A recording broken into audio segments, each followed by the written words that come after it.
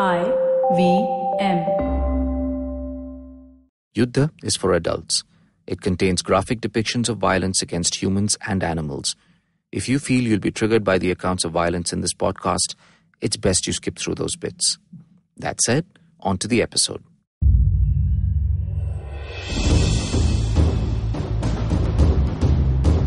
Welcome back to Yuddha, the Indian Military History Podcast. I'm Anirudh Kanisetti. And I'm Aditya Ramanathan. It's been an eventful few months, folks, to say the least. The COVID 19 pandemic has led to some of the greatest socio-economic displacements that the Indian subcontinent has seen since partition. Heart-rending visuals from across the world have driven home the fragility of human life within our Kafkaesque bureaucratic and political systems, but it's also driven home the ability of our species to persevere, to struggle, and to save each other against all odds. Aditya and I have daytime jobs as geopolitics researchers, so we've been busy with a ton of work aiming to understand how the pandemic is impacting and will continue to impact the world in years to come. But now we have a little more free time, and so we're back to moonlighting once again as amateur historians. Join us as we return to a time when another terrible pandemic, the bubonic plague, ravaged the world a time of shattering shields and bloody swords, screaming horses and trumpeting elephants. A world totally different from ours, and yet inhabited by people just as complex as we are. Once again, we will see how their avarice and determination, their dilemmas and their misfortunes, led to the world that we inhabit today. In the last couple of episodes of Yuddha, an ambitious, rapacious bunch of warlords from Central Asia managed to defeat against all odds the powerful, warlike kingdoms of northern India, including the Chahamanas, the Gahadwalas, the Chandelas, and the Palas over the course of the 11th and 12th centuries. We saw the rise and fall of the Ghaznavids and how they used elephants and coinage to formulate a dynamic, if ephemeral, vision of kingship over northwest India and Afghanistan. And we saw how they were defeated by the ambitious Ghurids, who burned their city to the ground. We watched as the slave soldiers of the Ghurids unleashed wave after wave of brutal, horse riding raiders into the Gangetic plains until eventually being beaten back from eastern India. Finally, we saw some of these soldiers embark on ambitious military and construction programs in many minor strongholds, engaging in a power struggle against each other until the most powerful of them eventually settled down to create a new state in this foreign land, a new sultanate, the Sultanate of Delhi. But what we didn't see, as we observed this political and military turbulence in northern India, was the unfolding of other momentous events in the rest of the world. In southern India, we last saw the savage wars of the Chalukyas of the Deccan and the Cholas of the Tamil country, and discussed how the Cholas attacked North India and Indonesia roughly the same time as Mahmud of Ghazni in the early 11th century. Today, barely two centuries later, the warrior slave turned Sultan Iltutmish canters around Mehrauli in modern Delhi, while the Cholas in the deep south are in the process of collapsing. Many vibrant new states are emerging in the Deccan and in the Tamil country, the Seuna Yadavas, the Kakatiyas, the Hoysalas, and the Pandyas. It will not be long before they too must reckon with the ambitions of this sultanate. But that is still a faraway and distant dream for Iltutmish and his rambunctious Turkic military aristocracy, because a great tsunami of blood and destruction has been unleashed upon the world. The Mongols, under the banner of Genghis Khan, one of the most transformative humans to ever live, as consequential a life as Buddha, Jesus, Cyrus I, and the Prophet Muhammad.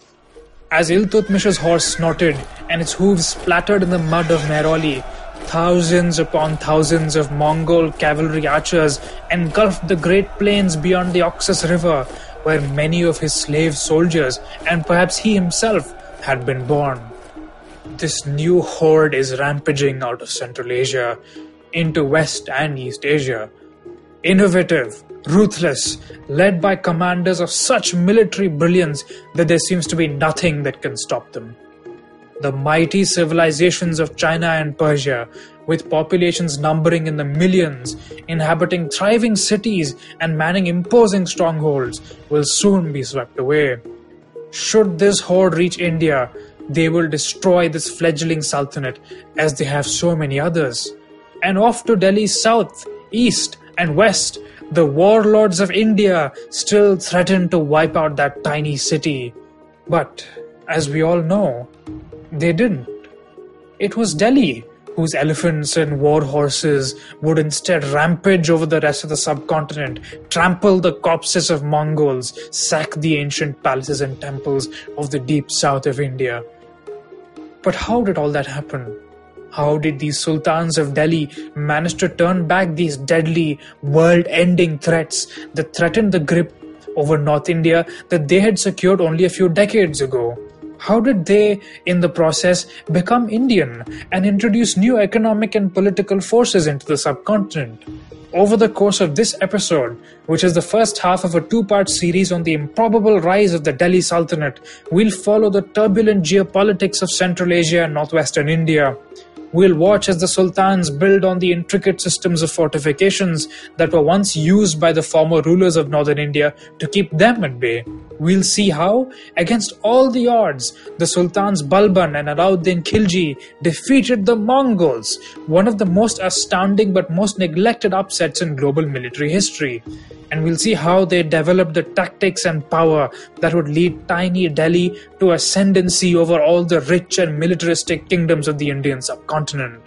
But first, let's talk about the Mongols, a people never before united until the rise of a young man called Temujin. Of course, the world now knows him as Chinggis or Genghis Khan, the Khan of the Sea of Grass. Genghis Khan was really a product of both his time and his place. We've talked about the Turks before, how these people from the steppes of Central Asia were hardy nomads and horseborn warriors. In that respect, the Mongols were like the Turks, but really dialed up all the way to 11. They came from the Mongolian plateau, which is largely walled off from the rest of the steppe. I actually like to think of it as being the citadel of Inner Asia. You have the Altai Mountains to the west, the Khingan Mountains to the east, due north are the frozen wastes of Siberia, and to the south is the Gobi Desert. Protected from the outside world, even from the rest of the steppe, this was the broad area from which other famed nomads had also emerged in the past the Huns and the Turks. And the Mongols were the last of these great eruptions, and they would be the most ferocious of them all. In this land of vast expanses, of cloudless blue skies and freezing winds, the Mongols were only one of many tribes. Like other tribes of the steppe through the centuries, they remained glued to their horses, they herded sheep, they heaved baggage onto the sturdy backs of their Bactrian camels. They also went to war with neighboring tribes, each warrior taking four or five horses with him as he went into battle. It was in the late 12th century that the Mongols were united by this man, Temujin, or Chinggis Khan. And this man would bring them together under a common Mongol identity and a common law code called the Yasa.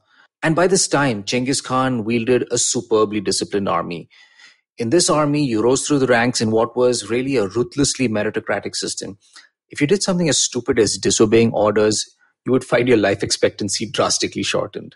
It's kind of surprising to think of the sheer success that this meritocratic military machine achieved within just a few decades of Genghis Khan's declaration as the Khan of the Sea of Grass, essentially the leader of this quote unquote Mongol nation.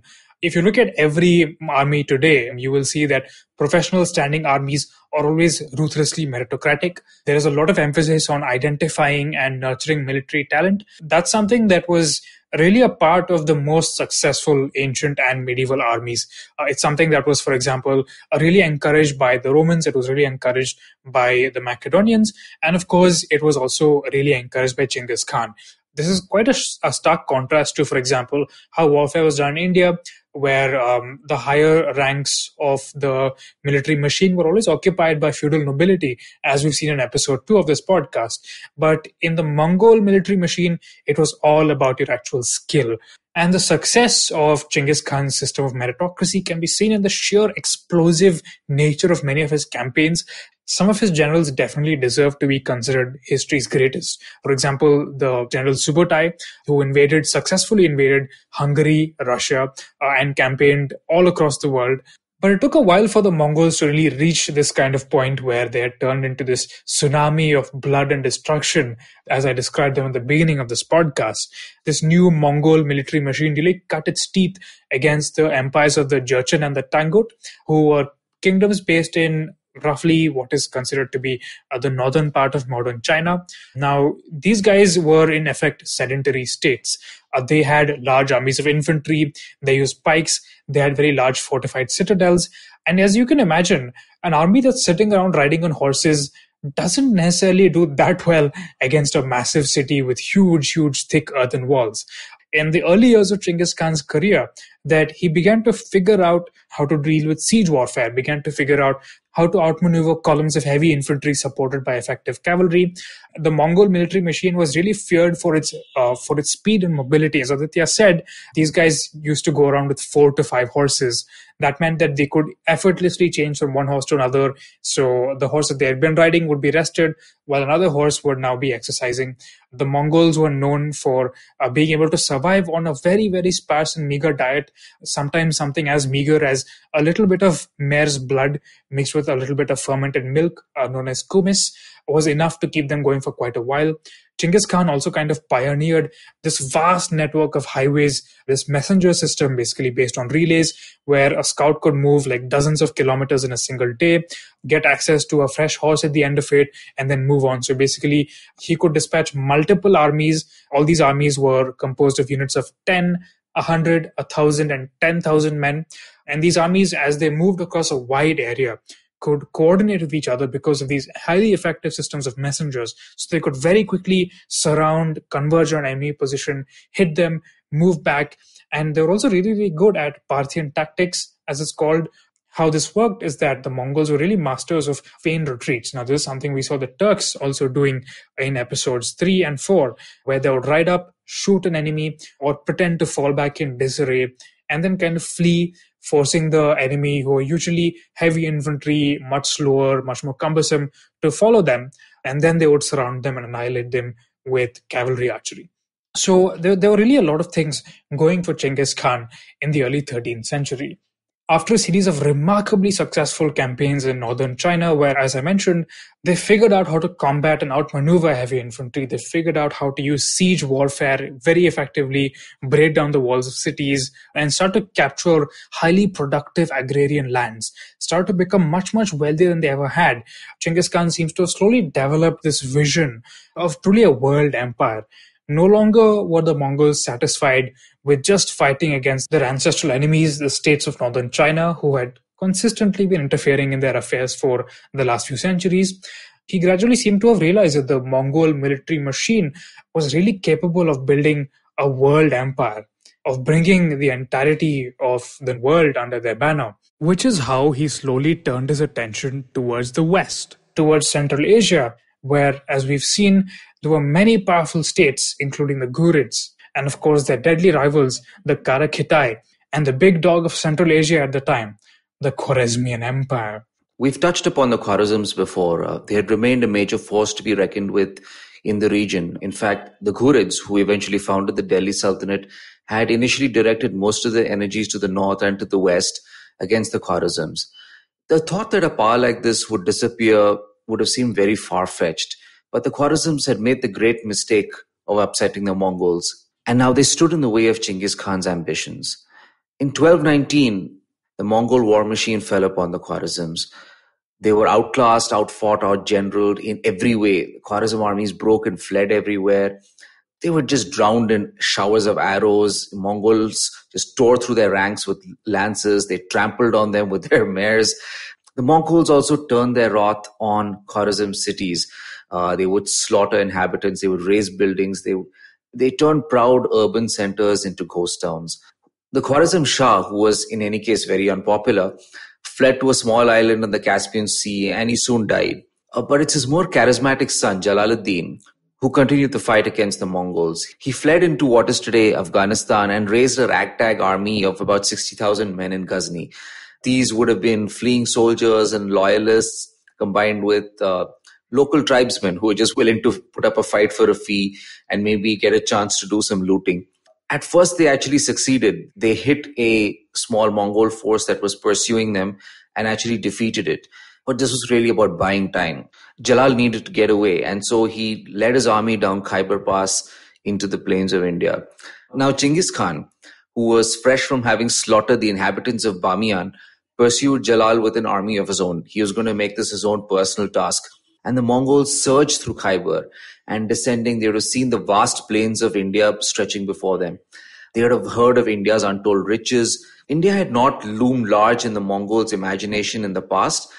Genghis Khan had gone to war to smash the Khwarizms' challenge to his ambitions. But you know, warfare has a logic of its own and it takes you places you didn't expect to go. Uh, it makes you do things that you didn't expect you'd have to do. For instance, now Genghis Khan needed to smash any remnants of Khwarizm royal authority. And in September of 1221, he found himself among Indian farms and villages, trotting amid the mud on this manhunt for Jalal. Genghis Khan surprised Jalal one early morning on the banks of the Indus River, just as Jalal's small army was trying to make it across to the other side. Jalal had with him by now not just his army, but also swarms of refugees. And as these refugees were trying to make it across, Jalal hastily tried to reorganize his army to put up a fight against the Mongols. At first, they actually managed to keep the Mongols at bay, but a small Mongol force scaled the walls of a nearby cliff and uh, basically managed to roll up Jalal's force from one flank.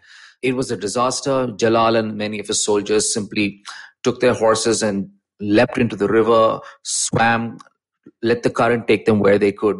There's a story that uh, Genghis Khan told his men not to kill Jalal because uh, he was such a worthy man. We need not believe such propaganda. It's clear that Jalal simply made his uh, way uh, downriver, and eventually he and uh, many of his Khwarizm soldiers would once again go west into other Muslim lands in the Middle East. Jalal himself was killed along the way. But uh, interestingly, many of Jalal's Khwarizm soldiers would make their mark in the wars against the Crusaders. That's actually quite fascinating, and, and it's, it's this weird connection almost to, at this point, almost forgotten Muiz al-Din, or as we know him, Muhammad of Ghor, who tried to portray himself, as we recall, as a crusader for Islam in India. Which, of course, brings us to the Delhi Sultanate. Now, why was it that the Delhi Sultanate did not offer asylum to Jalal al-Din, considering that he was a fellow Muslim, not just modern nationalists, but also pan Islamists at the time, if I can use that term, generally believed that against the pagan Mongols, Muslim rulers had a duty to unite. But we don't necessarily see the Delhi Sultanate getting involved uh, and trying to defend Jalal al-Din against Genghis Khan. And there's multiple reasons for that. First, of course, is a very, very good reason that Genghis Khan is Genghis Khan and nobody really wants to go up against him. The second reason, of course, is the fact that, as Aditya mentioned, the Khwarezmians weren't on the friendliest terms with the Ghurids. And quite early on in the Mongol invasion, it genuinely seemed like the Khwarezmians were contemplating an invasion of the Punjab to basically use that as a base to fight against the Mongols. And this was something that the Delhi Sultan would have been very well aware of. So we do know, for example, that um, Iltutmish, um, who at the time was the Sultan of Delhi, now, Iltutmish's early years were also fairly busy, roughly at the same time that Genghis Khan was conquering the plains of Central Asia, roughly the same time as the Mongol armies were first erupting into uh, Khwarezm. What Iltutmish was busy doing was defeating all the other smaller emirs and maliks who had taken over little swaths of northern India. Now, think about this. The way that we study the Delhi Sultanate, right? Uh, the way that the history of the Delhi Sultanate is told, it's like it's inevitable. As soon as one chappie declares himself to be Sultan in Delhi, all the other little um, little fish, as it were, basically surrender all their authority to him. But that wasn't really the case. We saw in the last episode how Qutbuddin Aibeg um, fought against his rivals Qabacha and Toghril Beg we also saw how Iltutmish himself had to fight against other minor Turkish ghulams of his erstwhile owner, Muhammad of Ghor, in order to rise to the throne. Now, in the first 16 years of Iltutmish's reign, he spent most of it fighting against smaller Muslim emirates in northern India. If not for the fact that Iltutmish successfully defeated them, North India might have looked totally different. North India might have just been a collection of small Muslim kingdoms who were almost indistinguishable from other existing North Indian Hindu kingdoms, uh, except for their religion. But Iltutmish really laid the foundation for something different. He's the one who conquered all these smaller uh, emirs and maliks, as I said, and really laid the Sultanate on a single foundation, really made it the most powerful Muslim state east of the Indus. Now, this powerful Muslim state had very clear memories of the Khwarezms. It knew very well about what the Mongols were doing, partly because of these types of refugees that Aditya mentioned. Now, some of these refugees were indeed amenable to signing up with the Khwarezm Shah, but many others had learned from the experience, from the trauma of seeing the Mongols destroy the Khwarezmian armies, destroying the Khwarezmian generals, destroying Khwarezmian cities, and didn't really think that signing up with Jalal al-Din was the best idea. So a lot of them really actually moved into Iltutmish's court, and oddly enough, they ended up strengthening the Delhi Sultanate a lot of um, generals, a lot of uh, condottieri or mercenaries from Central Asia joined up there. Um, a lot of intellectuals from Persia and Central Asia found that this this new court in Delhi, this tiny little court, which needed to administer these vast swathes of hostile territory, was going out of its way to offer good deals to them. And as you can imagine, a state that's on such a kind of shaky foundation that is still like accepting all these refugees is hardly going to piss off the most powerful man in the world, Genghis Khan, by offering asylum to one of his enemies. So what really emerges is that Iltutmish and Genghis Khan seem to come to an understanding. Iltutmish does not offer asylum to Jalal al-Din, even though he does offer asylum to all the other Khwarezmians, which Genghis Khan doesn't really care about. And in return, Iltutmish doesn't really take any hostile action against the Khan.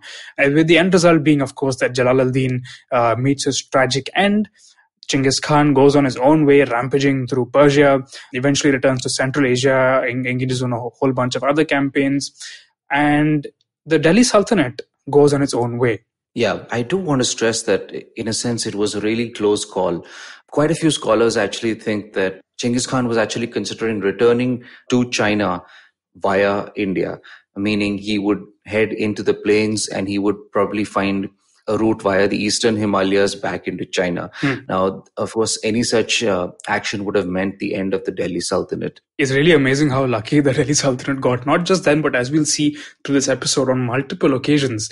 It came awfully close to being wiped off the map by multiple powers, not just the Mongols, but also by Indian tribes and Indian kingdoms. But we'll come to that in a little bit. So at this point, let's let's briefly talk about how exactly the Delhi Sultanate worked, right? So the way that the Delhi Sultanate maintained its power was that there was a, a very large number of these freeborn refugees of like or often of like aristocratic birth right uh, these generals that i was talking about these administrators and intellectuals from persia and central asia that i was talking about and to kind of balance them off iltutmish basically cultivated a group called the Chihilgani. The Chihilgani are a group of slaves. We're not sure how many exactly there were. Some sources say 25, some sources say 40. And it was a fairly ethnically diverse group. There were Kipchaks, the same ethnicity as Iltutmish. Um, there were a few freeborn Turks, Turanians as they were called. There were some Habshis or Abyssinians, uh, Africans, and even in some cases some hindus now we are told that in fact the leader of, of this entire group the man who was considered to be a father almost to all these other um, slave nobles was a hindu there were also uh, a few neo-Muslims or who are who are actually Mongols who had converted to Islam. There were some unconverted Indians, we are told. There were some Khalaj tribesmen, and of course there were some afghans now the afghans were actually the least important of this whole lot as you can imagine this diverse group of people some of them freeborn some of them slaves of iltutmish were the central core of the Delhi Sultanate. These were the guys who controlled the most lucrative lands. These were the guys who controlled the most powerful armies, and they were the backbone really of the Sultanate. Now, Iltutmish was very well capable of keeping them in line because he was the guy who basically gave them power and all that. But none of his successors were really able to keep this group in line because as you can imagine they're not really a united group. There are these ethnic divisions there are tribal divisions. There are differences in terms of how what they consider to be their importance. And any sultan who does not really take these people as seriously as they should gets wiped out now, after a fairly turbulent few decades, where a number of Iltutmish's successors are basically replaced by the Chihilgani because they're too assertive or not assertive enough, eventually one of the Chihilgani manages to maneuver himself into a position where he's essentially the regent of the Delhi Sultanate, where he has a decisive edge over all of his other contemporaries among this Chihilgani. This man is Ghiyasuddin Balban. And Balban is a fairly extraordinary character. He's remarkably pragmatic. He's also a dark and somber sort of individual, a master politician, but also a master of propaganda, of administration. After participating in a conspiracy that removed the last two sultans, eventually Balban himself becomes sultan. And he starts to set into motion a great deal of interesting changes. Let me just read um, an inscription from Delhi. It's quite interesting. In his kingdom, abounding in benign rule, extending from Gauda to Gajana, from the Dravida region and from the Setubandha to the north, where the entire region was filled with inner content, the earth bore vernal floral charms produced by the rays of the innumerable precious stones and corals which dropped on it from the crowns of the bent heads of the rulers who came from every direction for his service. When he went forth on a military expedition, the Gaudas abdicated their glory, the Andhras through fear sought the shelter of holes, the Keralas forsook their pleasures, the Karnatas hid themselves in caves, the Maharashtras gave up their places, the Gujjaras resigned their vigor, and the Latas turned into Kiratas. The earth, being now supported by the sovereign, Shesha, altogether forsaking his duty of supporting the weight of the globe, has betaken himself to the great bed of Vishnu, and Vishnu himself, for the sake of protection, taking Lakshmi on his breast and relinquishing all worries, sleeps in peace on the ocean of milk. This is a Sanskrit inscription commemorating the reign of Hamira Ghiyasamdina, which is a little surprising. Balban, um, Ghiyasuddin Balban, soon after coming to his come into power, is being praised in a Sanskrit inscription that's being left in Delhi. Now, this is also an, an interesting inscription in many ways because it describes the origin of Delhi, um, which was at that time called uh, Sri Yoginipura in, in Sanskrit. It talks about the genealogy of the rulers of, of Delhi. It talks about the genealogy of the people issuing this inscription. It talks about the Tomaras. It talks about the early Delhi sultans, uh, mentioning one um, Shahabadina or Shihabuddin, uh, and coming up, as I said, to Sri Hamira Ghayasamdina Ghiyasuddin Balban. And it's very interesting to see how, even though the Delhi Sultanate is very often thought of as being nothing more than this barbaric, conservative Islamic state, it clearly is going out of its way to also cultivate Brahmins. It's also clearly going out of its way to cultivate the old power centers of Delhi, and especially Balban is doing that, which is why this inscription is saying that Vishnu can rest at ease because Balban is in charge. Now, this inscription is also interesting because it kind of presupposes a political continuity. It doesn't necessarily see the Delhi sultans as being incompatible with the principles of Indian political culture. Uh, it very clearly is trying to portray them as a continuation of those who had come before.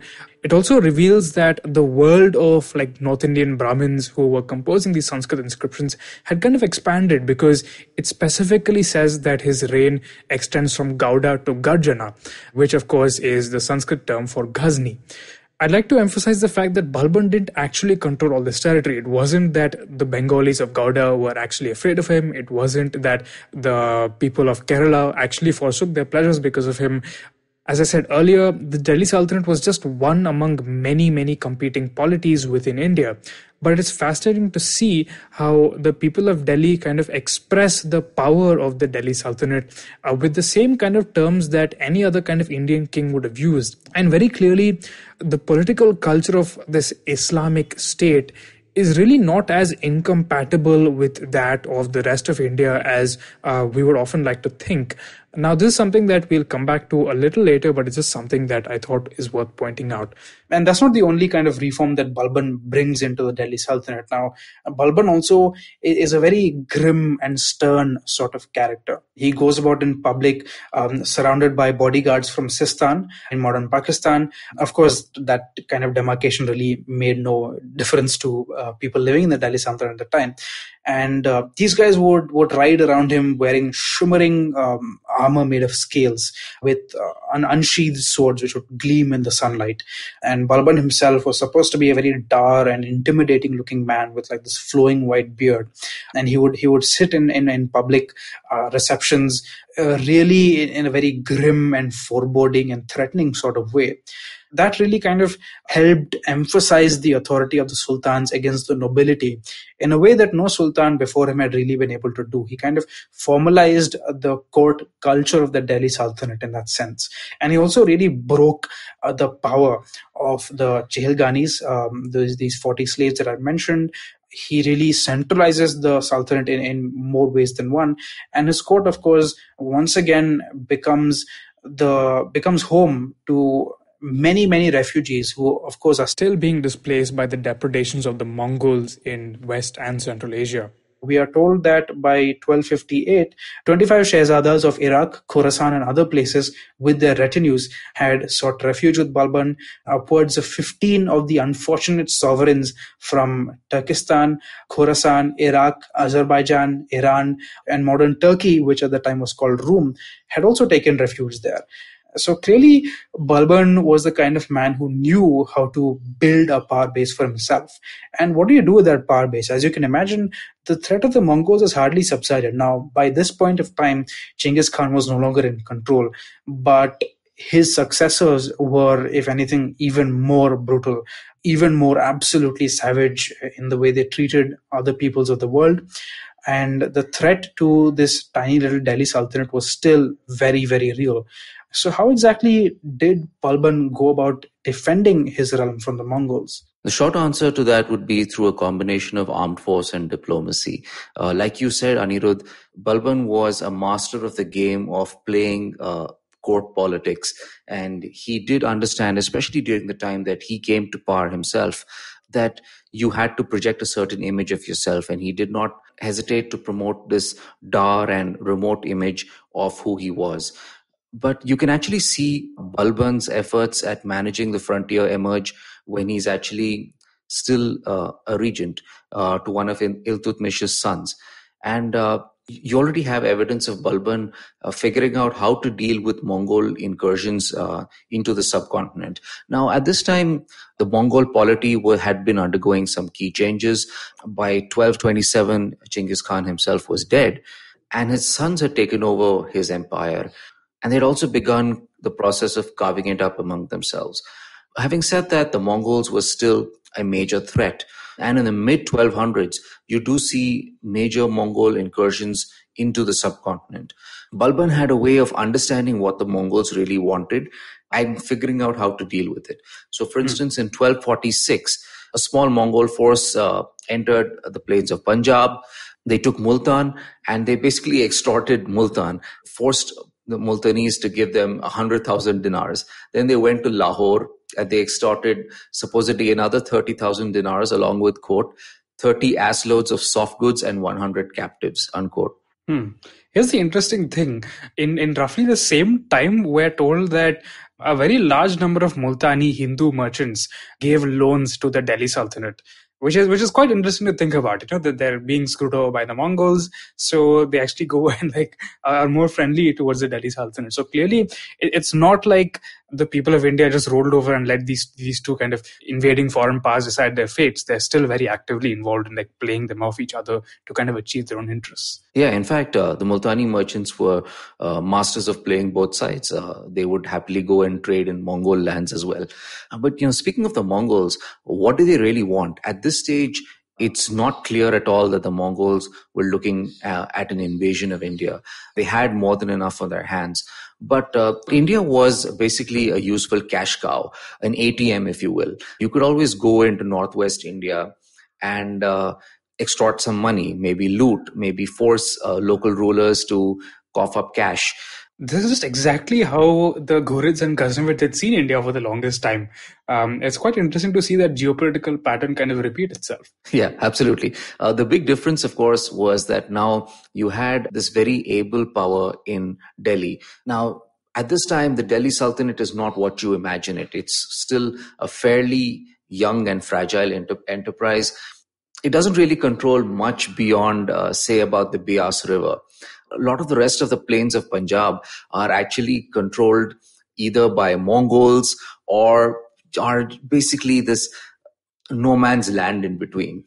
There are a few things that Balban does that really help solidify the Delhi Sultanate's defenses against the Mongols. Number one, he starts building a series of fortifications along the key routes that would be used by an invading army. Some of these fortifications are in the mountains themselves, for instance, in Samana, which actually became an area of fortifications most famously during the British colonial period. He would also build or strengthen uh, fortifications uh, in the plains, in whether in Dipalpur, Bhatinda, and in Delhi itself. The reason for fortifications is that uh, it actually complicates any Mongol war plan. If you have uh, fortifications, it means that you can have people inside those forts. If the Mongols decide to bypass those forts, uh, they could have somebody in their rear. The Mongols also depend very heavily on foraging for their horses. And uh, these people in forts can actually sortie out and uh, hamper the Mongols' uh, freedom of movement and hence their mobility, their ability to get to, say, for example, Delhi. That's fascinating. And I'd really like to kind of emphasize this since you mentioned Bhatinda, Aditya. In the last episode, we talked about how um, Bhatinda was basically a bone of contention between the Ghurids and the Chahamanas who ruled that part of India clearly the Chahamanas had been using a similar series of fortifications to defend against Turkish invaders, uh, to block off their routes of invasion, to harry their supply lines. And what the Turks are doing now that they are in charge of that same area um, is defending against a new Central Asian power by kind of strengthening the existing fortifications um, that had been there for centuries. And once again, it's like a fascinating continuation of the same geopolitical pattern, but with different protagonists. That's exactly right. The one advantage that the Delhi Sultanate had that uh, the Chahamanas didn't is that they did control more of Punjab. That did allow them to extend their fortifications over a wider area. The other thing that Balban did was he used diplomacy. By the 1250s, Mongol geopolitics was also changing. Uh, Hulagu Khan, the grandson of Genghis Khan, basically went on a rampage by first taking on the Ismaili assassin's cult in Afghanistan and then moving westwards right across the Middle East. After this lightning campaign in the Middle East, Hulagu really needed to consolidate his power, and it made sense to have at least a sort of temporary peace with the Indians. And in 1259, Hulagu and Balban came to an understanding and to a treaty. Hulagu actually sent a, a diplomatic mission uh, to Delhi. For Balban, this was perfect chance to showcase Delhi Sultanate's military might. He organized elaborate ceremonies. He organized a hunt. Uh, now, hunts were for Balban very much a form of military exercises. Hunts required the army to be marshaled for it to move as an organized force, to practice its logistical abilities. And uh, all of this was on display for the Mongol ambassadors. You know, we talk about, the, we use the word deterrence today. Uh, deterrence only works when the other side knows your capabilities. And Balban was determined to show the Mongols what the Delhi Sultanate was capable of. It also will not escape us that any ambassador coming to Delhi would also get a sense of at least some of the fortifications, not just in Delhi, but also along the way. They would also get a sense of the lay of the land. Now, you might think this is a disadvantage, but for the Mongols, uh, going deep into the plains of India is uh, it's really it's out of their element. It's beyond their comfort zone.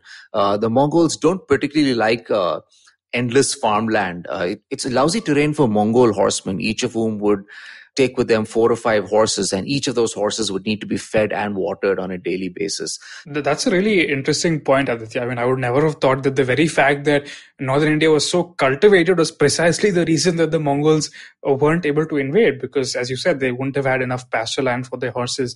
And I also came across a couple of interesting arguments um, regarding the way that Balban intimidated the Mongols. This hunt that you talked about, basically how the hunt would work, was that you would have horsemen spread out in a in a circle over a very very wide area with drummers, um, and this circle would would basically contract in a very organized kind of way. So just think about what it takes to have like hundreds of horsemen spread out over a wide area and and coordinate the kind of shrinking of this circle to drive animals before it. Um, so clearly, what Balban is trying to do is to show these ambassadors that my cavalry archers, my horsemen are no less accomplished than yours are. And we're also told that at one point there was a review of 200,000 infantrymen and 50,000 horses, which Balban basically mustered, made the ambassadors kind of walk through to kind of intimidate them with this show of force. Yes. Of course, not all of these, uh, not all of these men were part of Delhi's standing army. They were mostly raised from Delhi's provincial governors from, from various different parts of India that the Delhi Sultanate controlled, which again is mostly like North India, the Gangetic Plains. But it must have had quite an effect on, on the Mongols, right? So keep in mind that this is in 1260. It's only about two years after Hulagu Khan did something that absolutely devastated the Muslim world. In 1258, he had attacked uh, and comprehensively looted and sacked Baghdad, supposedly for 30 days. And the, the, the rivers outside Baghdad are supposed to have flowed black and red with all the ink of the libraries that was thrown into the rivers, with all the books that were thrown to the rivers, and with the blood of all of its slaughtered citizens. And of course, the Abbasid Caliph, who we've seen in various capacities in Yuddha up to this point, because uh, the legitimacy of the Abbasid Caliph was so important to all of these upstart warlords, uh, such as Mahmud of Ghazni, Muhammad of Ghor, and of course the Delhi Sultanate. Iltutmish himself, for example, had declared himself to be the lieutenant um, of the of the of the commander of the faithful, which is the Abbasid Caliph. He had actually received robes from the caliph. Yes, he had. Um, and, and, and the way that the caliph was killed was in the traditional Mongol fashion. Supposedly, uh, the Mongol tradition was that royal blood should never be spilled on the ground. So how they killed the caliph was that they put him into a carpet or into a bag and had him trampled to death uh, with horses, which was which is a brutal and, and horrifyingly painful way to die but uh, this news when it first reached india as you can imagine was was met with absolute horror there were there were all these um, legends going about that um, the Mongols were absolutely undefeatable, that they were monsters, pagans who had come to basically end the, the Muslim world, and so on. And that was one of the reasons, for example, why the Delhi Sultanate had a slightly more conservative religious streak um, because it, it, there would have been a genuine belief. Think about it. This happened not just in europe but also in the muslim world. There was a genuine belief that the mongols were the scourge of god uh, that they had been sent to punish the faithful for not being faithful enough um, of course, that would change later, but we'll come to that later. For now, I'd just like to emphasize the fact that keeping the Mongols at bay was no simple task. Balban, as Aditya mentioned, not only strengthened the lines of fortification, not only intimidated them with his ambassadors, but is also credited with being one of the first sultans to really create a standing army, which would have been an enormously expensive task. Think about it. He's supposed to have raised 17 to 18,000 cavalrymen who were positioned um, in, in lines of fortification, I think around Multan and Sistan and these guys were were meant to like constantly be on the lookout for mongols. And it's not cheap to maintain thousands of men constantly in the field. You have to constantly feed them. Uh, you have to make sure their, their horses are, are in good order. You have to make sure um, that they have appropriate arms and equipment. So clearly there was a lot of like internal reforms that are happening in the delhi sultanate. Not just political not just cultural but also administrative also military in order to keep the mongols at bay Yes, Anirudh, you talked about uh, having cavalrymen in forts. Now, the reason you would have cavalrymen in forts is not only because they can patrol widely and uh, and act as scouts reporting on potential Mongol movements, but also because they're exactly the sort of people that can make foraging by Mongols very difficult uh, in the event of a Mongol incursion. What's also inter- very interesting is the kind of hunt that uh, Balban organizes. The hunt that he organized, as you said, involved a large body of troops basically encircling a large number of animals. This is very similar to the Nerge, the traditional Mongol way of hunting, which also served as a sort of military exercise for the Mongols. So I think the lesson could simply not have been lost on the Mongols. Uh, this was definitely a part to be reckoned with. And the Mongols had to very seriously think about whether the risks were worth the payoffs, especially at a time when they were already sensing the limits of their own power we can also be sure that whatever the Mongol ambassador told Hulegu uh, would have actually fallen on fairly receptive ears. Hulegu was by this time aware that there were limits to Mongol expansion. One of his lieutenants had actually been defeated by Mamelukes, another Turkic people, in a battle in what is today Israel. And those were all really the limits to as far as Mongols could go easily. And it was clear that the Mongols were really testing the ecological limits of their expansion. Uh, like I, like we've said before, Mongol armies depended heavily on foraging. And there are places in the world where that's simply not very easy. North India, to a great extent, is one of them. But the deserts of the Middle East would also prove that these limits did exist to the west as well. Uh, the other place that the Mongols were finding those limits was in China itself. The Sung dynasty to the south uh, really represented a very different climate, topography. Uh, there was a lot of rice paddy cultivation. This is a very different world from the China that the Mongols were ru- ruling in the north. And once again, the Mongols were struggling to expand their power. There was also the problem of internal divides within the Mongol polity. There was not just bad blood between the children and grandchildren of Genghis Khan. You also, for instance, had one faction of the Mongols, the Golden Horde, uh, having converted to Islam. And this put them at odds with uh, Hulagu's Ilkhanids in Persia. Uh, and so you really had uh, these internal divisions arising within the Mongols at the same time that they were finding that they could not expand further into the Middle East, uh, further into southern China, to some extent into India, and also into Western Europe. Now, one would have thought that this was really the perfect time for Balban to go on the offensive and kind of uh, perhaps push into Central Asia, gain a little more territory at the expense of the Mongols. But that wasn't something that was really an option for him because, as I alluded to earlier in this discussion, the kings of India were nowhere near defeated by this point. Um, in fact, uh, Barani, who was a later uh, chronicler of the Delhi Sultanate, um, and is of course like famously unreliable because the way that Barani writes history is to basically uh, promulgate his own theory of kingship, which unfortunately we don't really have time to get into right now. But basically, he he contrives a speech between Balban and his his lieutenants, uh, where uh, Balban's lieutenants say, "Why do you not go to war with the Hindus?" Uh, basically, and Balban says, "If I were to take take my attention off my northwest for even the tiniest moment, uh, the Mongols would attack. And that would be the end of the Delhi Sultanate as we know it.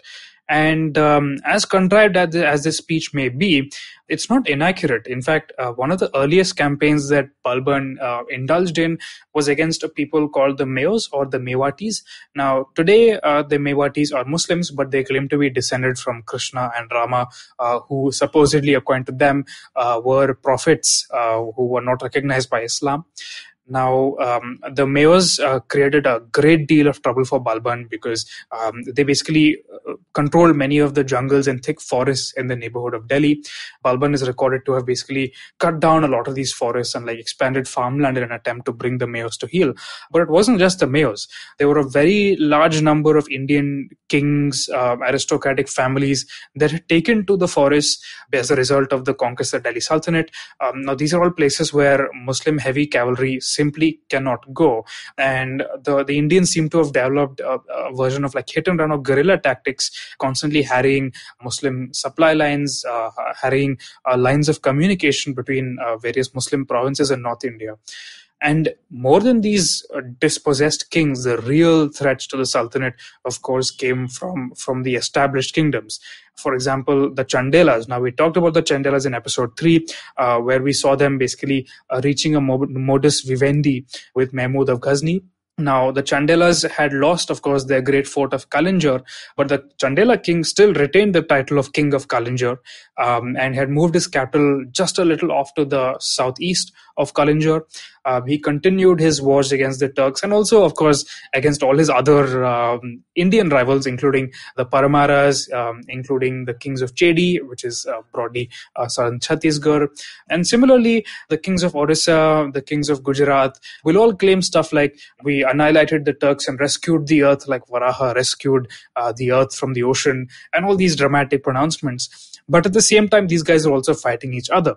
Uh, so very clearly it seems almost that the political culture of, of northern india remained more or less intact the geopolitical culture if you will where the the kings of india basically now considered this little sultanate to be yet another kingdom just like theirs and they would go to war with it raid it just as they would go to war with and raid all their other indian neighbors and of course, there's something that Delhi Sultanate themselves understood very well. Um, it's quite curious to see them basically doing the exact same thing the other Indian kings were doing to these other Indian kings.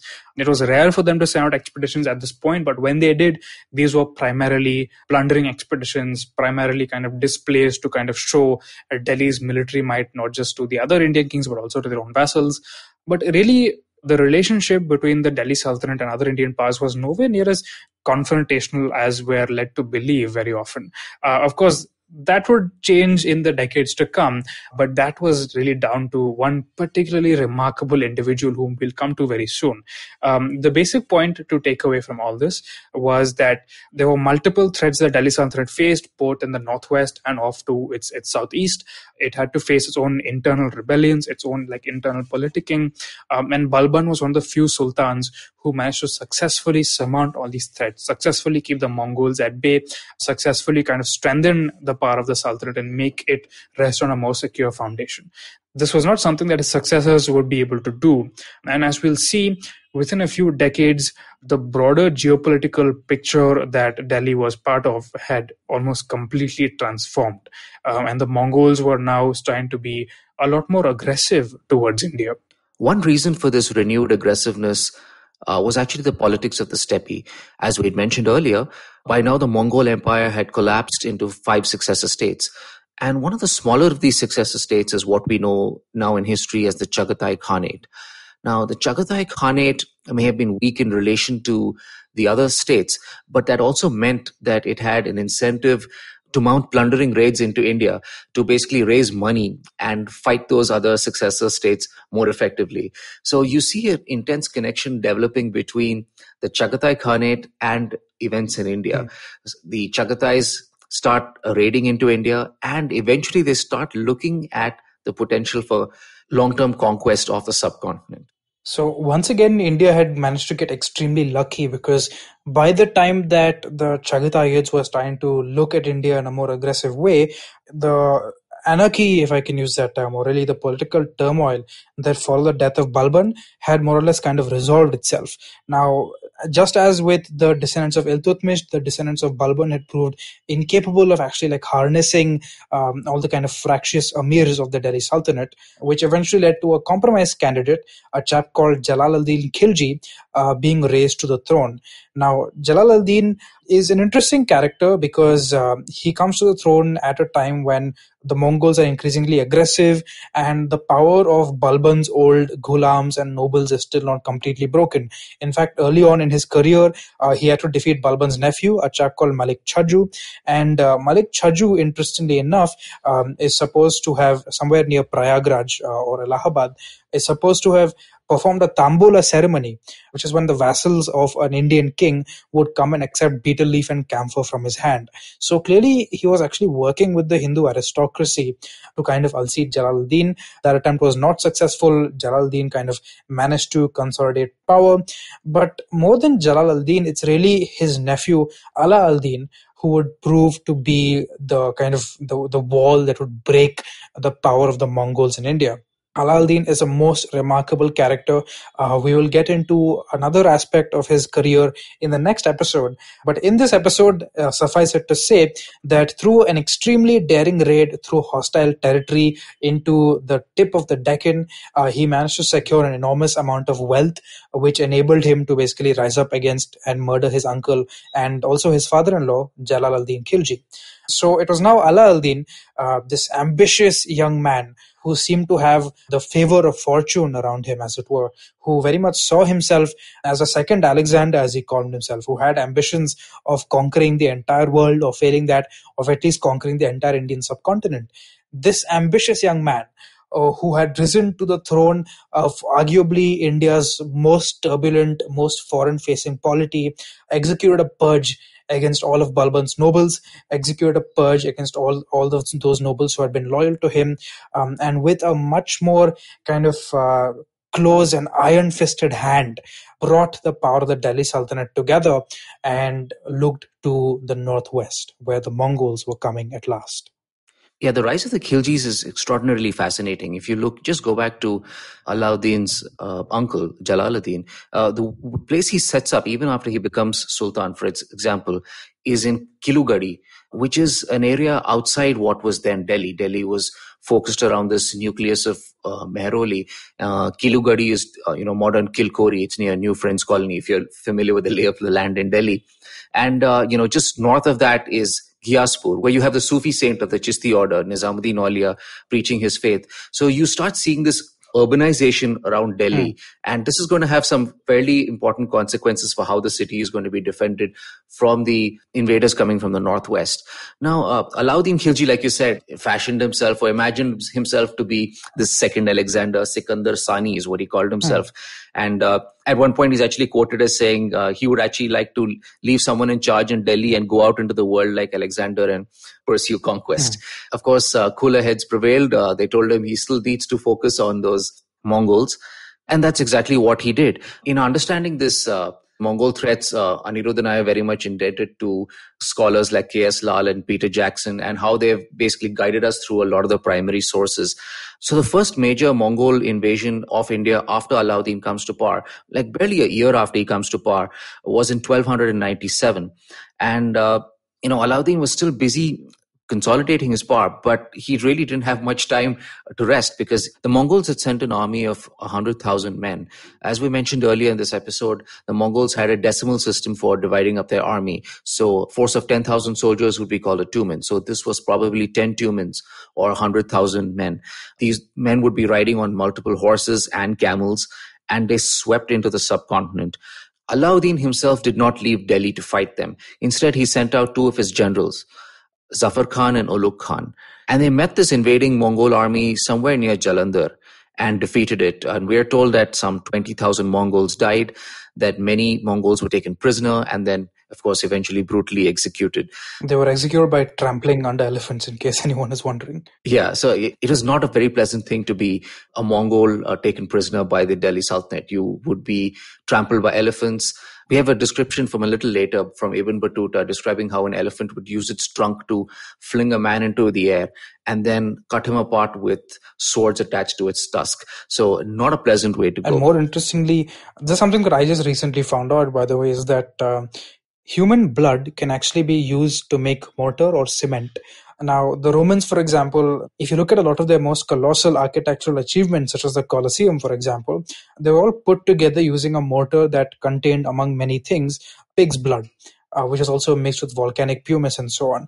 Now, some sources claim that Alauddin's Mongol prisoners would basically be pulverized and their blood was used to build the new fortifications that he was constructing around Delhi to keep it safe from the Mongols. So it was clearly meant as this kind of blood curdling message that any Mongol invasions of India would be met with absolute savage brutality and thus make it harder for Mongols to kind of recruit these soldiers of fortune who might want to join them.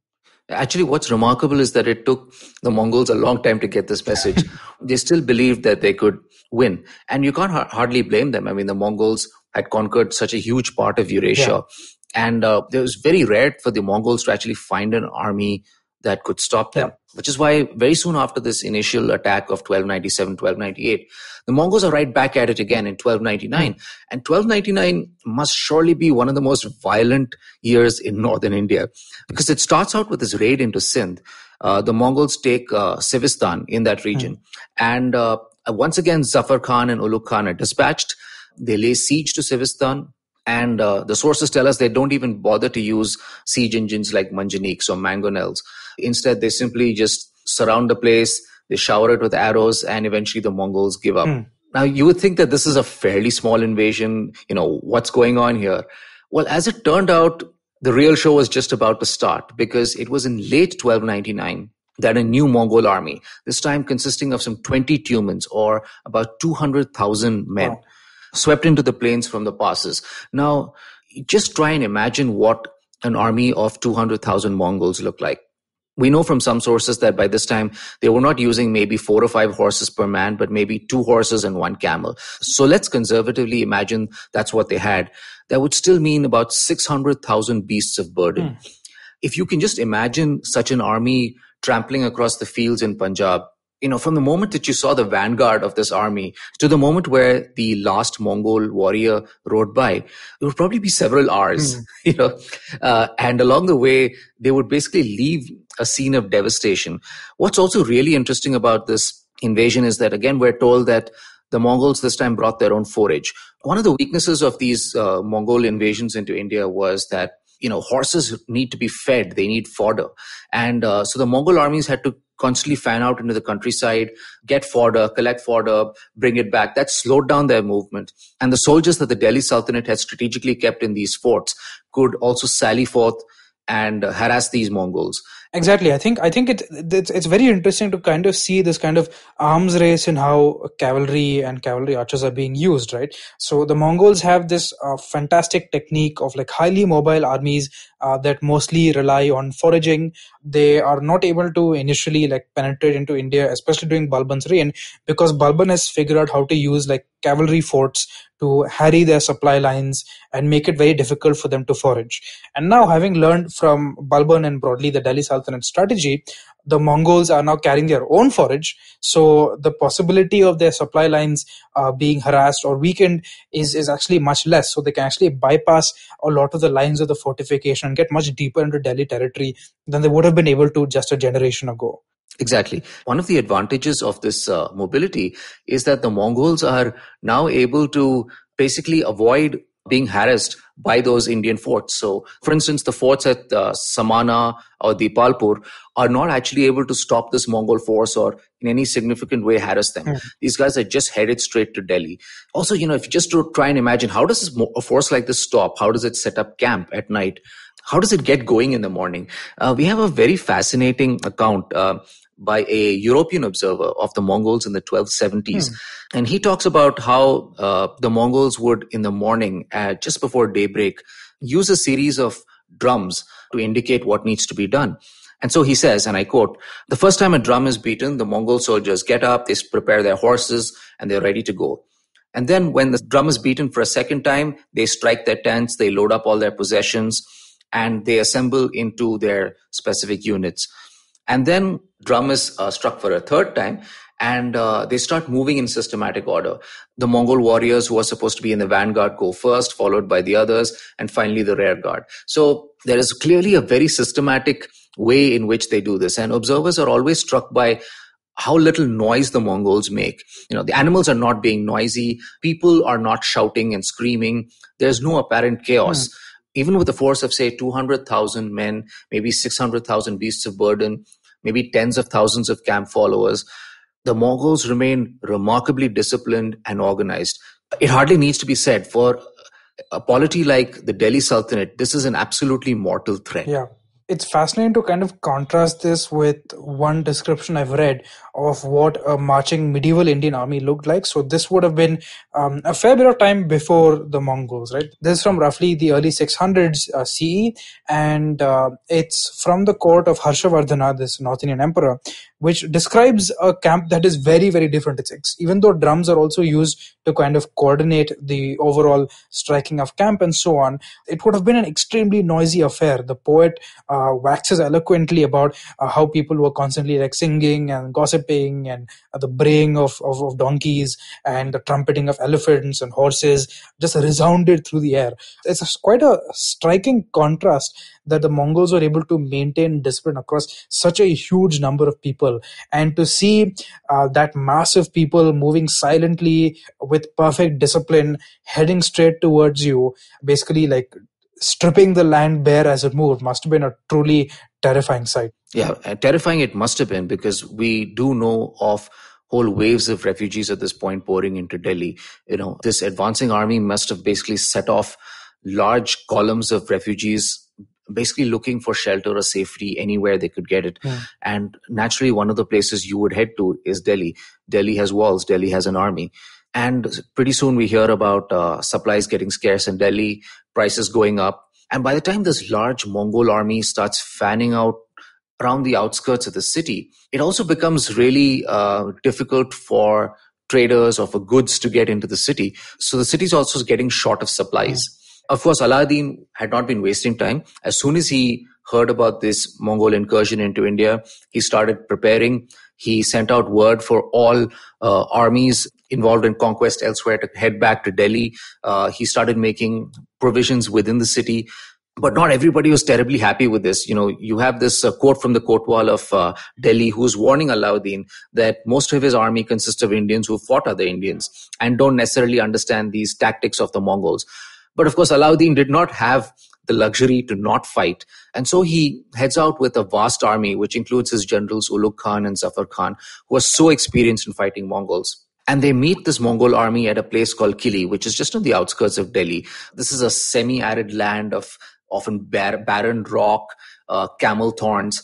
We're told that the Sultanate's army uh, had one flank against the Jamuna River and the other against a large patch of uh, scrub brush. Mm.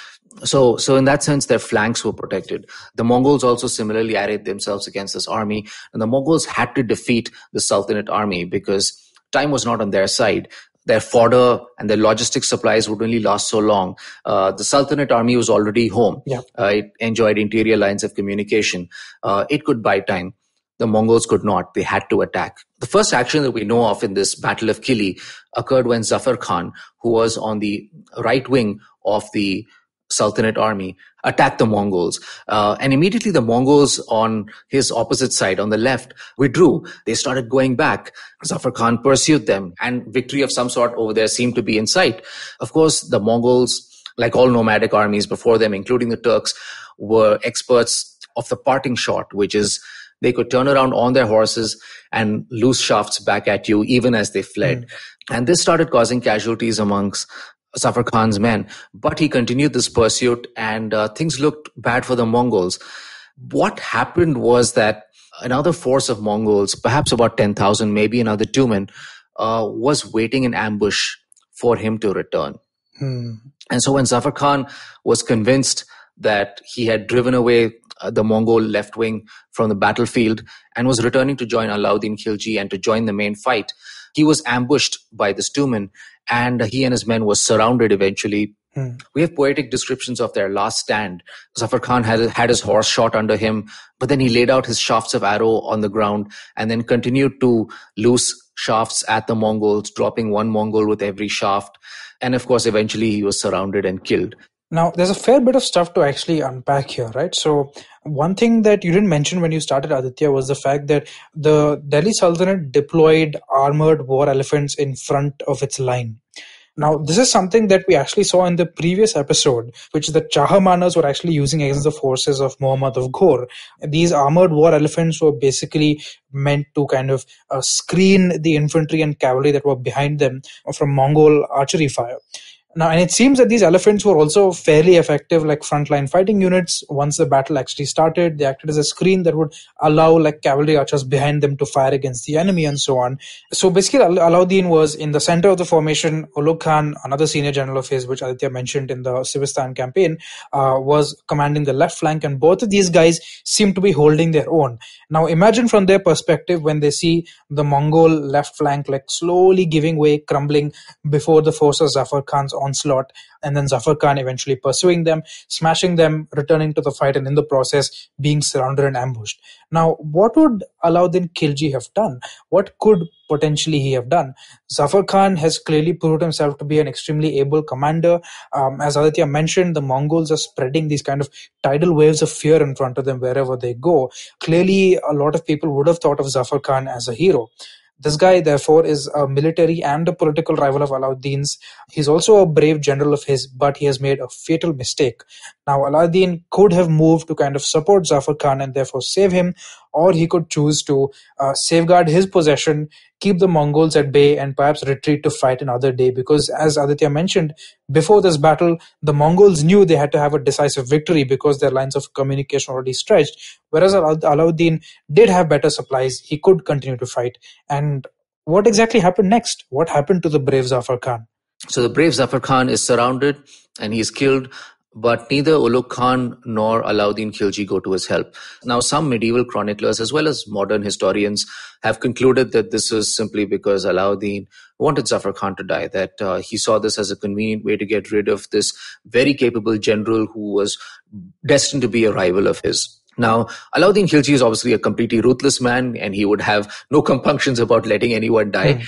But as a military decision, his action of not going to Zafar Khan's help. You know, in combat, as in life, what you don't do is as important, at least, as what you don't do. Uh, you know, that decision to not go to his help, I think, was a very sound one. It was a very sensible one. It may have been ruthless, but I think it actually helped save the day. Uh, because even as Zafar Khan was uh, conducting this pursuit and was eventually ambushed, the main Mongol force actually advanced and uh, tried to attack uh, the Sultanate's armies. But of course, like you said, the Sultanate's armies had this composite force. You had a screen of elephants who were probably also defended by some infantrymen. You had archers behind them. Mm. You had cavalry, and they were really able to push back the Mongols. We also hear that in the process of pushing back this Mongol attack, they managed to rescue several Indian soldiers who were being held prisoner. Now, I just want to stress that from everything that we hear about the Battle of Kili, we can see a lot of very typical Mongol tactics. One that we've just discussed is the way that the Mongols basically ambush and kill Zafar Khan. We've seen the Mongols do very similar things in the Caspian region, in Eastern Europe. The other is uh, using screens of prisoners in the vanguard of your attack. That's what the Mongols seem to have done, done at Kili as well. Basically using captured Sultanate soldiers as arrow fodder. And Alauddin was not the kind of person to be dissuaded by that kind of tactic, as we've seen with his calculated, but as Aditya said, sensible sacrifice of Zafar Khan. But what happened after that, Aditya? I mean, I would assume that now that the Mongols have dealt a devastating blow to Delhi's right flank, that they would start rolling up Delhi's line from the right. But that didn't really happen, did it? Well, yeah, it didn't happen. One reason I think is simply having been pushed back so effectively, they were quite weakened and shaken. The other is that it would appear that Kutlu Khwaja himself, the leader, was mortally wounded. Hmm. And uh, eventually the Mongols uh, slipped away at night. And from what the sources tell us, they made their way back across the Khyber Pass as quickly as they made their way uh, into the subcontinent. Hmm. Uh, that's it's quite a interesting turn of events. Uh, it's, and it seems like overall a close run thing. If a few things had gone differently, Alauddin might have faced a serious defeat. It might have seriously upended the political equations upon which his authority rested. But he managed to pull through, and I think part of the reason for that was the fact that Alauddin is fairly remarkable economic and administrative mind as well. He's he's really a Indian Renaissance man, if I can use that term. Uh, he's not just great at politics, but he's also great at the actual business of rule. Now, one thing that Alauddin did in order to kind of give the Delhi Sultanate the kind of military forces it needed to fight the Mongols was a series of expansive economic reforms. These were basically designed to kind of break the power of the Hindu uh, landowning aristocracy. We've seen like throughout this episode, right? We saw Balban struggling to bring them under heel we saw Alauddin's uncle Jalaluddin fighting Malik Chaju, who was supported by the Hindu aristocracy. And it really seemed that the Hindu aristocracy was more or less safe in, in their hill forts, in their forest fortifications, uh, had a lot of land under their control, which they were able to use to kind of mobilize resources that were used against the Sultanate. And what Alauddin did was implement this highly oppressive system of taxation. Everybody from village chieftains to even village watchmen, we are told, uh, who were a menial caste, were forced to pay pretty back-breaking taxes. These were uh, collected on an annual basis. They were assessed on the basis of the quality of land, the, the kind of crops that were grown there, and they were collected extremely regularly and with, as you can imagine, with fairly savage brutality uh, backing them up. But they did succeed so the net effect of all these kind of taxation system reforms was to transfer ever more of the agrarian surplus to the urban center of Delhi. Um, and it wasn't just agrarian surplus that was coming there in larger numbers than ever before. Alauddin had this system of like actually maintaining a very large standing army. We know of at least two types of trooper that Alauddin uh, recruited through monetary incentives, uh, especially of having like a fixed salary, right? Uh, so this professional military was composed of some cavalrymen called Duashpaz, who seemed to have been lightly armored Indian cavalrymen um, who had two horses, he would receive a salary from the state that was expected to keep him and his horses in good health. This grade of soldier was supposed to have been able to capture at least 10 Mongols uh, in pitched combat. Um, above them were a class of cavalrymen called the Murattab, who seem to have been Muslim cavalrymen who were heavily armored. Of course, their armor and all was paid for by the state and was supposed to have been able to capture 100 Mongols in pitched combat. So clearly, what Alauddin is doing is recruiting a highly capable, highly talented military force. But surprisingly enough, even though we do know that these guys got fixed salaries, they don't seem to have been that excessive according to the currency of the time the reason for that was perhaps Alauddin Khilji's most pervasive and most extraordinary reform, uh, which is something that's totally unique and honestly unparalleled in the medieval world and could only have been done by a man who was as ambitious and as ruthless and as intelligent as Alauddin Khilji was. This was probably the world's most extensive system of price controls ever seen and that will ever be seen. Alauddin had a bureaucracy and a network of spies that controlled the prices of everything from camels to slaves to cloth and also had a system of permits that were used to make sure that no, the nobility would not buy up stuff for cheap in Delhi and sell them at a great expense elsewhere. This even had a system where merchants were kind of incentivized, paid upfront to go and get stuff from deeper within the provinces, and very large granaries were, were, were kind of maintained by the state to ensure that prices stayed low. The end result of this elaborate administrative system was that Alauddin could maintain a very, very large standing army without spending too much and without having to mint currency that would lead to like skyrocketing inflation. It's a fairly remarkable achievement. You know, let's not mince words about it. Aditya mentioned Ibn Battuta earlier. Now, when Ibn Battuta visited Delhi a couple of generations later, he still tells us how more than like a hundred years later, uh, the system of price controls that Alauddin had implemented was seen as this great wonder of ages bygone. It was never successfully recreated and has never really been successfully recreated even today. Of course, this problem of like having a large agrarian surplus which is being eaten by an even larger uh, group of like people who don't produce stuff right? People who aren't craftsmen people who aren't agrarian producers but people whose only job is to fight enemies would be something that other generations of delhi sultans would have to tackle. But that again is something that we will see in, in later episodes. Now let's come back to alauddin himself. Now he'd, he'd done all these reforms. He'd managed to build up a really large standing army that was capable of taking on the mongols and managed to successfully um, defeat one uh, Mongol invasion of the Battle of Kili, as we've seen. What happens next? As you can imagine, this ambitious young man now sets about uh, trying to defeat all the other Indian kingdoms.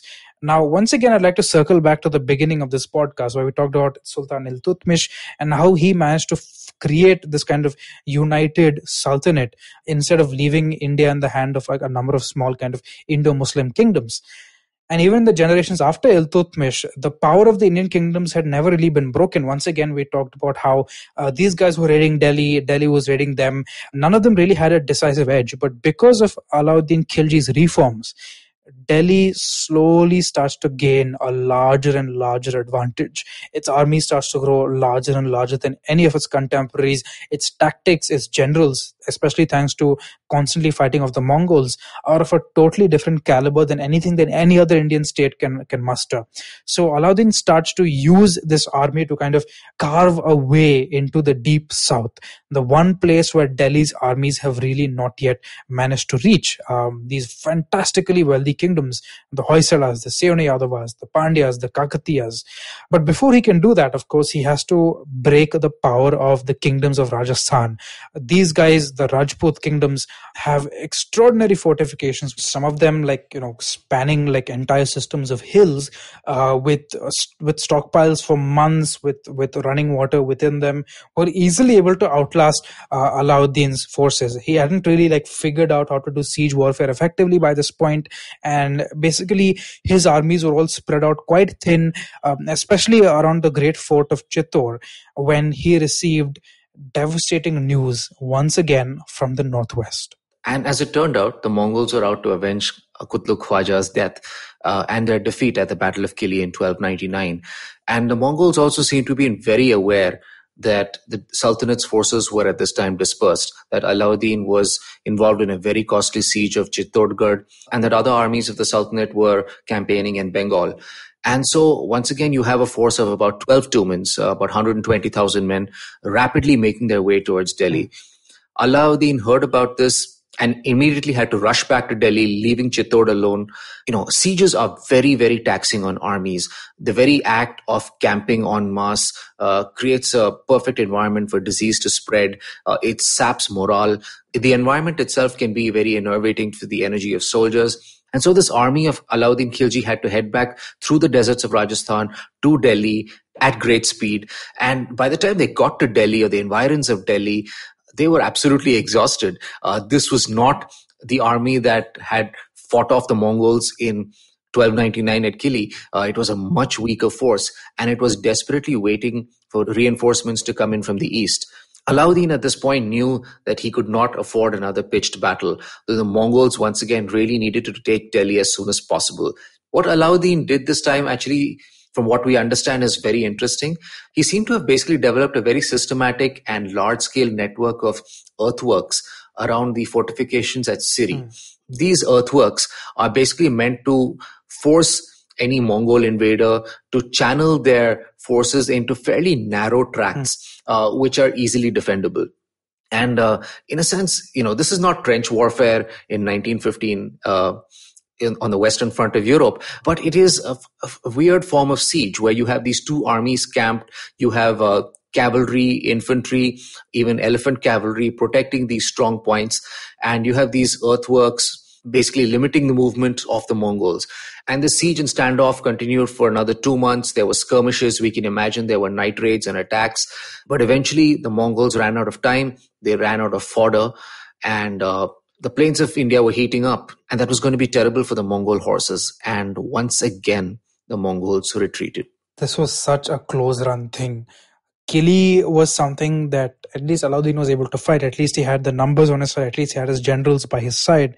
But this second campaign could so easily have ended in disaster if Alauddin had arrived just a few weeks too late, if Alauddin had lost his nerve, if Alauddin had not understood the Mongols' weaknesses and understood that he basically had to buy time. It could have easily ended in disaster, but this guy stayed cool, stayed composed. He realized that the Mongols had an overwhelming numerical advantage, whereas he had the edge in terms of supplies. And so he figured out how to use defensive works in a way that negated the Mongols' advantage in numbers, sapped their morale, uh, stretched out their supply lines, and forced them eventually to come to terms with reality and retreat. And they should really like make you consider who this Alauddin Khilji guy is. He's definitely not that that absolute uh, raving lunatic that he was portrayed as being uh, by Ranveer Singh and Padmavat. He is a cold, ruthless military and political leader on the lines of I would say perhaps even Rajaraja Chola himself. Um, there's a parallel that we'll see a little clearer in the next episode. So um, don't kill me yet. You will see there's a parallel that actually makes sense. As an administrative reformer, as a military reformer, as an ambitious, um, if somewhat paranoid politician, Khilji should definitely rank among the most transformative figures in Indian history, but all that he's remembered for today is because of the 16th century story that was made up, which again we'll come to later, about his supposed infatuation with the Queen of Chittor. But once again, let's circle back to that day in 1302 1303 where Alauddin must have thanked God and thanked himself for this extraordinary situation that he had delivered Delhi from all of a sudden the most devastating threat to Delhi's existence had been defeated not once but twice. Over the years to come, the Mongols would find themselves more and more occupied with events in Central Asia. And Alauddin, with this enormous professional army at his command, with some of the most remarkable military minds of their generation at his disposal, including Ulugh Khan, and of course, a Gujarati eunuch turned general called Malik Kafur would slowly turn his eyes on the rest of the subcontinent. It was time for Alauddin to fulfill the ambition that he had nurtured from his very earliest days as Sultan. It was time for him and Malik Kafur to conquer the rest of the subcontinent. If you like Yuddha, please leave us a rating and review on your podcast app. Yuddha is made possible by support from the Takshashila Institution and the Independent and Public Spirited Media Foundation. And your goodwill makes it possible for us to keep going. If there's anything you'd like to learn about India's vibrant, violent military history, reach out to us on Twitter or Instagram. I'm Anirudh Kanisetti, that's A N I R U D H K A N I S E T T I. And I'm Aditya Ramanathan, that's A D I T Y A R A M A N A T H A N. And while you're at it, don't forget to check out other interesting shows on the IVM Podcast Network.